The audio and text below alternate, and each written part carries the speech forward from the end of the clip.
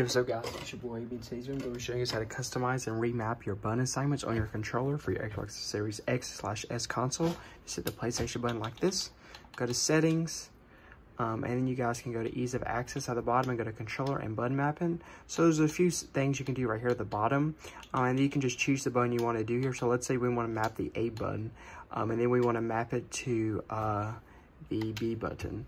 So now, um, hold on one sec the B button. So now you see it is changed. Um, so now um, when we press A, it's actually the B button. We press B, it's actually the A button like that. So that's kind of how you do it. Um, and you can reset it right there.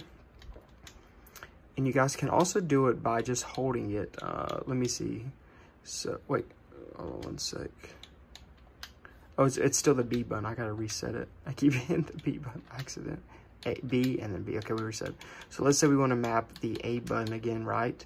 Uh, if you want to map it, just hold. You can also hold uh, the B button as well.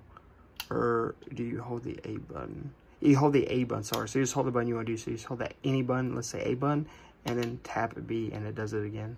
So that's how you do that as well. So if you guys do this tutorial, and I'm out. Peace.